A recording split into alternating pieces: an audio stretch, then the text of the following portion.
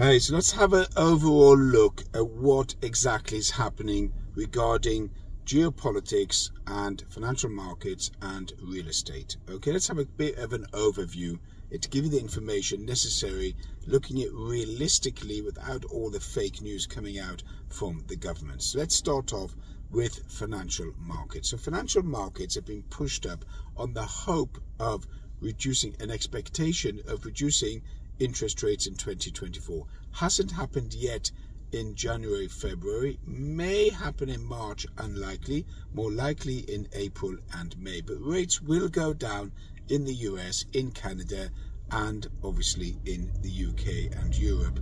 This year is going to see falling interest rates, irrespective of inflation. The central governments, especially the US central bank, which is the Fed, has thrown in the towel regarding fighting inflation because they stated last November that they're going to reduce interest rates in 2024 minimum three times, which what really they're saying is that we don't give a damn about inflation, we're going to reduce interest rates, knowing that the economies are not doing well. So the central banks have to reduce interest rates. They haven't got a choice simply because if they don't, then the economy is going to flounder. It's already floundering in Germany and in the UK, with the UK producing negative GDP and Germany also producing negative GDP. Remember, Germany is in a bigger problem because they are much bigger industrial giant than the UK, and their industry is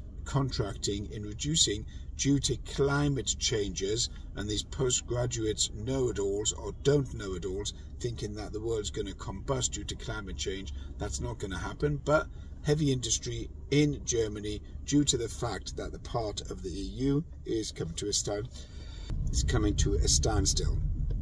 So there is a problem there with heavy industry. So um, econ economic conditions are very very tough in Europe in the UK and in the US. The only difference in the US is that you've got um, drug related crime and you've got homeless, fentanyl, zombie like people living on the streets of California, New York, and in other states, which has caused major drops in commercial property and other uh, real estate. So that is a bigger problem with more than 7.8, I think 10 million illegal immigrants being brought in by the Biden administration, who is totally out of control, probably the worst president ever. That's my political view. It's putting my 10 pence worth in there.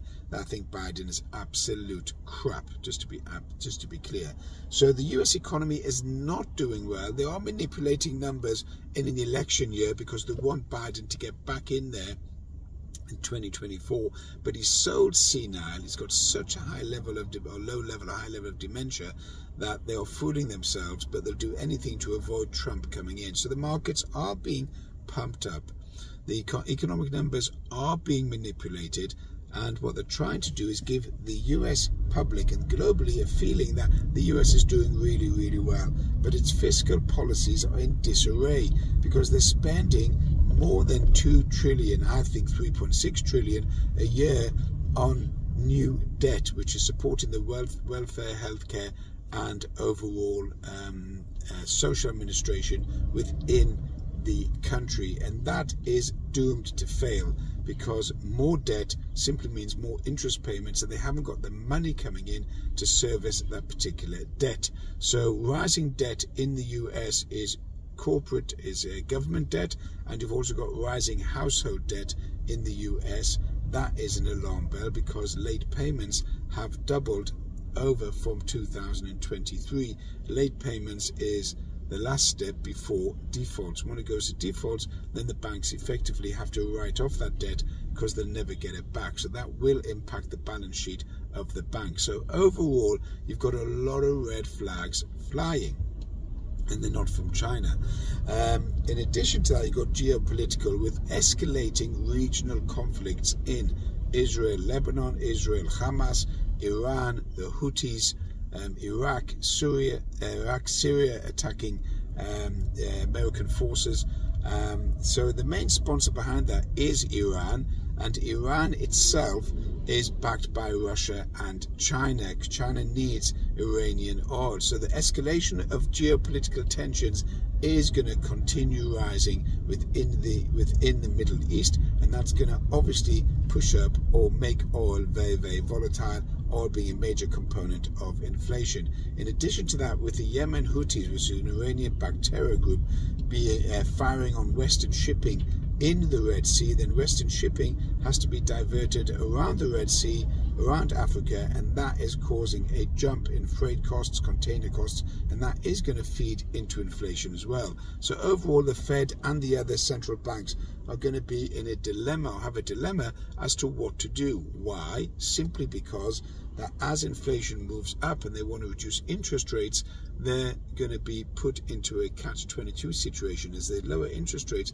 inflation is going to move even higher. So overall, when you mix between the geopolitical and between the economic, you've got a lot of warning signs there that the that the markets seem to be ignoring, but you need to pay attention to.